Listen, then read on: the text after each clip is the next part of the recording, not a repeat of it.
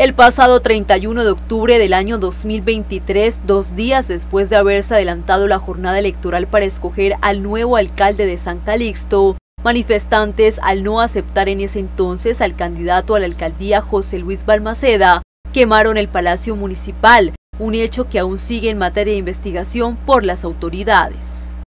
He querido conmemorar este día que una persona electa en San Calixto no puede volver a vivir esta situación, que hay que recalcar que esto es de ustedes, esto es del pueblo de San Calixto, que necesitamos encontrar espacios de diálogo y entendimientos para abordar nuestras diferencias, para reconstruir y sanar las heridas. San Calixto merece una paz que nazca desde el respeto mutuo, donde las diferencias políticas no sean excusas para la división y mucho menos para la violencia.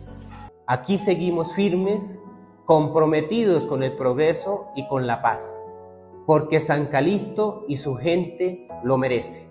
Hace un año tuvimos un día lleno de zozobra, un día lleno de miedo, donde el señor alcalde le tocó salir, me tocó salir también tarde de la noche hacia la ciudad de Ocaña porque nos llenamos de zozobra junto con mi familia, no lo queremos volver a vivir. Quiero llamar pues que a la reconciliación de este municipio, a este camino de la unidad, que si no nos construimos, no, no, nos ayudamos entre nosotros, pues este municipio va a desaparecer y va a tener muchas consecuencias. Invitar al pueblo, invitar a la oposición, que ya lo que pasó, pasó.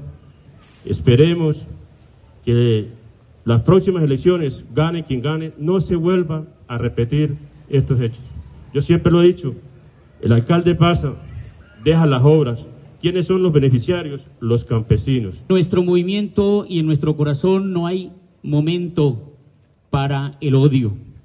Hay momento para reiniciar de nuevo y embellecer estas instalaciones.